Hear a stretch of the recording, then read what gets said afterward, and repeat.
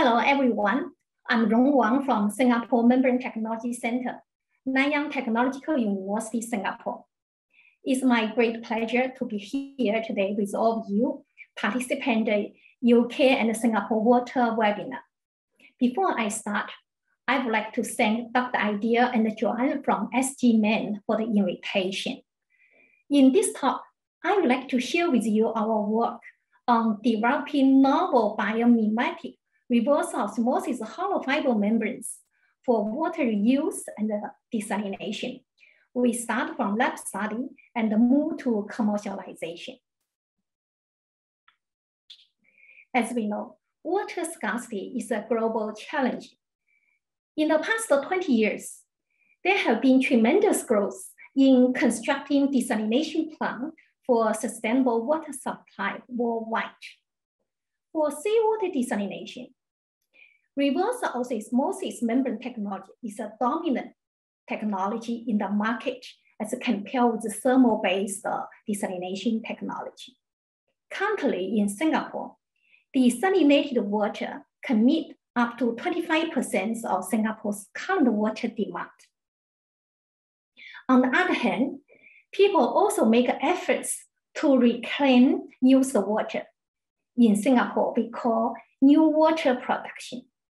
In the new water production process, you can see brackish water reverse osmosis membrane filtration is a critical step to ensure the high quality of NEWater produced.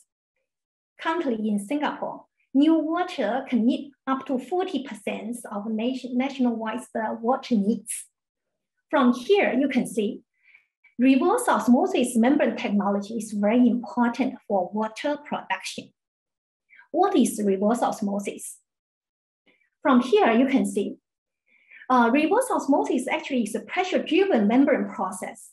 We apply external hydraulic pressure to overcome the osmotic pressure of the feed stream and overcome membrane resistance to push the water from a high salt concentration feed site to the low concentration permeate site.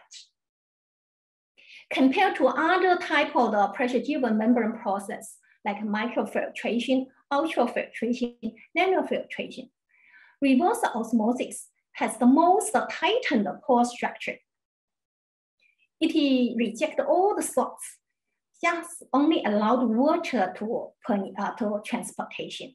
So the RO membranes have the lowest water permeability and have the highest operating pressure. In the RO technology, the center of the RO technology are the thin film composite RO membranes. From this chart, we can see this is the uh, thin film composite RO membranes looks like. They are porous support.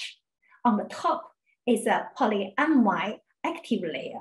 This layer will do the separation job. It only have around 200 nanometer uh, in thickness. How to form this polyamide layer? Actually, we through the interfacial polymerization using two type of monomers, MPD, TMC, to have a faster interaction, to uh, have a chemical reaction to form this polyamide uh, active layer. Thin film R or composite RO membrane is the state-of-art technology for water reuse and seawater desalination.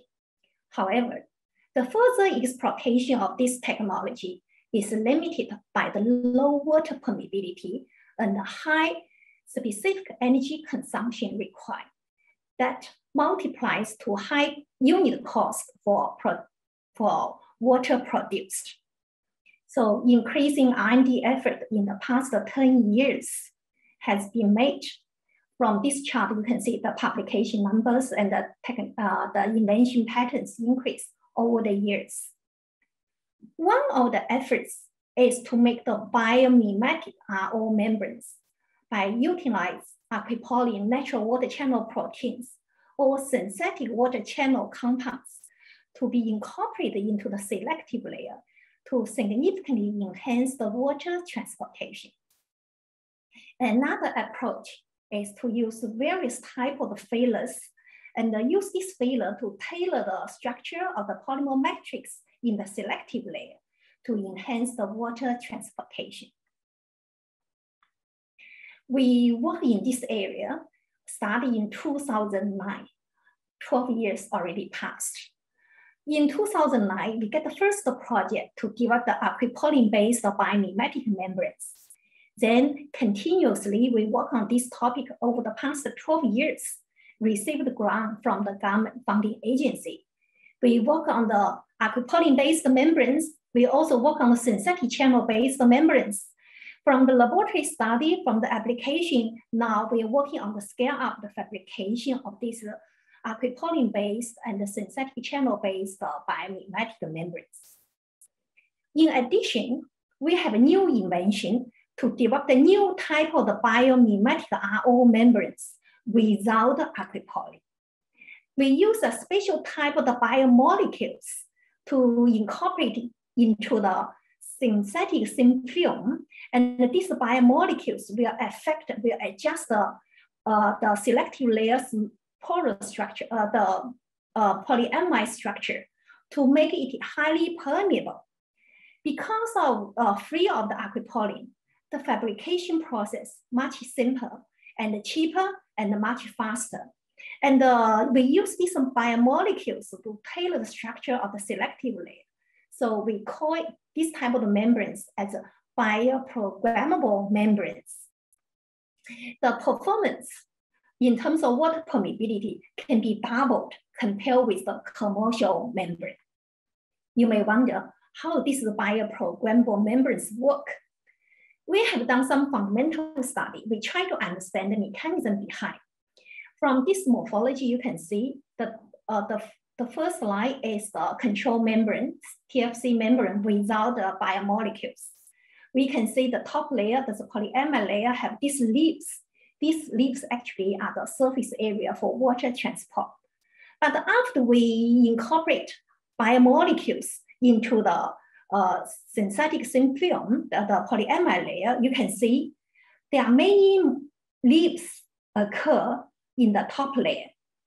It means a lot of the surface area occur in these bioprogrammable membranes for water transportation the surface area is around three times than the control membrane. That we believe is the reason to enhance the water permeation. Another unique feature of our, uh, of our RO membrane is in hollow fiber configuration.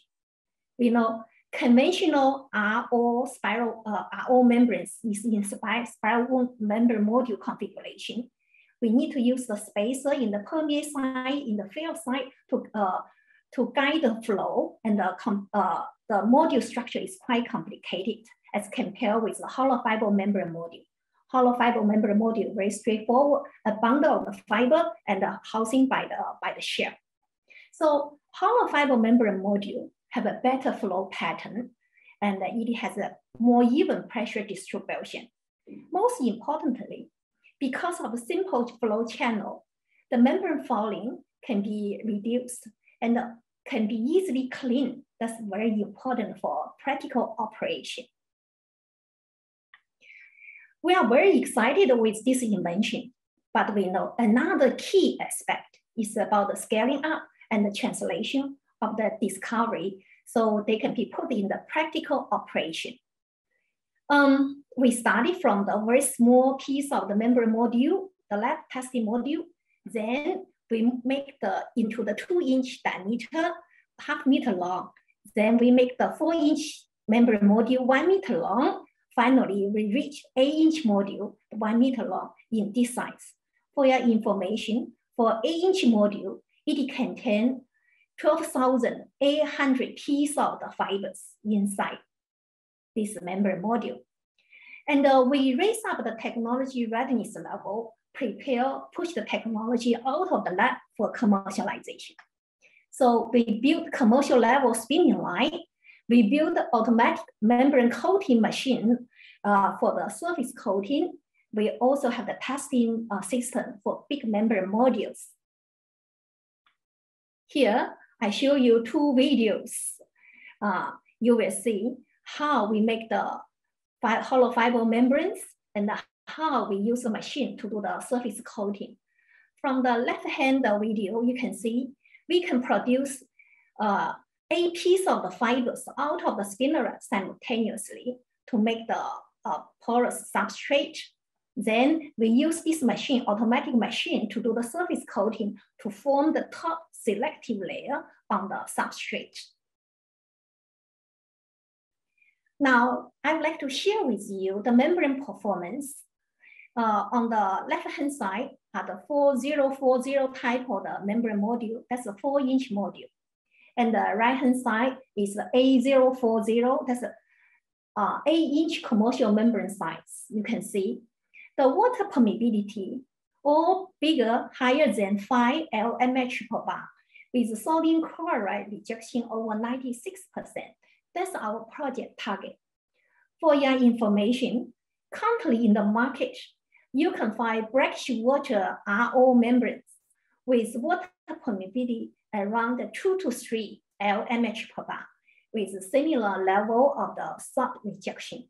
So our membrane performance in terms of water permeability doubled. Okay, we also do the long-term benchmark with commercial membranes. Uh, we do the testing in parallel uh, for the uh, our own membranes and the two commercial membranes. We collect the real NEWater from the local NEWater plant to do the testing. To achieve the same water flux, 20 LMH, our membranes only need to run three to four bar pressure, and the commercial membranes need to run five to six bar or six to seven bar. The water quality, the rejection is similar, you can see here. And uh, we also have a unit running currently at the PUB water plant at the Ulu Pandan, the new uh, water reclamation plant at a capacity 14 cubic meter per day. That's a continued testing to test our membranes bioprogrammable membranes without aquaporin and with aquaporin in the first uh, 120 days. Then we mount, we, inst uh, we uh, install the commercial, two commercial membranes, continue to do the testing. So you can see two commercial membranes need much higher transmembrane pressure for the operation to achieve the same water flux. And uh, this bottom part is our bioprogrammable membranes performance operating pressure needed for the flux. In addition, we also calculate the energy consumption for our pilot testing system and compare, compare the number with the current PUB operation on site. Because our system only needs 4.5 bar operating pressure, we can save a pumping energy by 50% compared to the current practice in the NEWater plant. Here, I'm pleased to let you know that we are ready to push the technology out of the laboratory. We have licensed our technology to a Singapore local company for bioprogrammable RO hollow fiber membranes commercialization. With this, I would like to make a conclusion. The growth of membrane technology is assured due to impending water scarcity we have successfully developed novel our hollow fiber membranes for water reuse and desalination with superior uh, water perform, uh, permeation. I believe it is important to improve technology readiness level from the laboratory study and uh, prepare for technology translation. As a membrane scientist, I believe the commercialization of advanced membrane technology will be the ultimate goal of membrane research. With this, I would like to thank all my collaborators, research staff, and the PhD students who worked with me in the past 12 years. This is really a long journey. I would also like to thank the funding agency, uh, NRF, PUB, MND, for continuous funding uh, provide to us. Finally, I'd like to thank Sing uh, Singapore Economic Development Board for funding Singapore Membrane Technology Center at the NEWRI NTU. I would also like to thank you for your listening. I'm looking forward to the potential collaboration with all of you. Thank you. I'm more than happy to answer your question. Thanks very much for an, for an, excellent presentation. Just going through the, the questions now. Um, if anyone has any uh, additional questions, please enter them in the, the Q&A box with the name of the speaker ahead of it, so I know who is, which questions are for who. So we've had one question come in, Professor, um, where it was, could you summarize the relative costs and performance of the, the product just in, in terms of the commercialization that you were speaking about at the end there?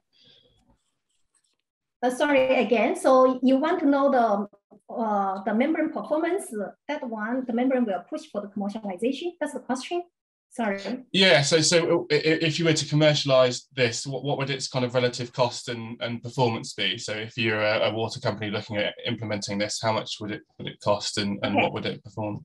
Thank you. Okay. Yeah. For commercialization, actually, a lot of the parameters we need to consider. Not only just simple testing in the laboratory Actually, we already tested our members in the laboratory for the long-term testing, uh, the over half year. Now the current testing in the on-site on the NEWater plant already last half year. The testing is continue. Basically, our membrane water permeability double as compared with the commercial membranes. Uh, it means to produce the same amount of the water, we only need half of the operating pressure. And uh, the stability, long-term stability, stability is a concern. We are still running our membrane system. And uh, currently is 14 cubic meter per day, the pilot testing. Now we are building 100 cubic meter per day, the pilot testing. That uh, currently we are doing the construction. That will be done within uh, like the four to six months the time after we build the system. So we will continue to run the big pilot to confirm the, uh, the practical applicability of our membranes.